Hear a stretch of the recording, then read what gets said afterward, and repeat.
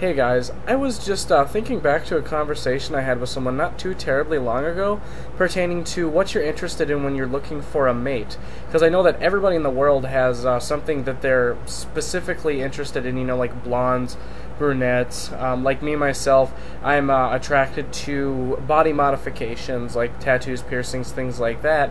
But I never really ever came up to the topic of race when I was having this conversation.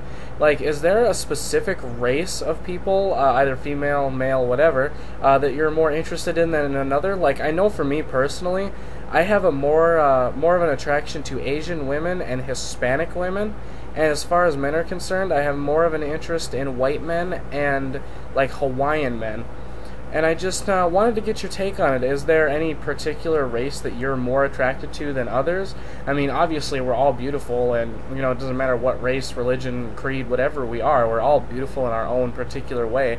But when you're really looking at somebody and you know, you're looking for someone to date, what uh, what race are you more drawn to than the rest?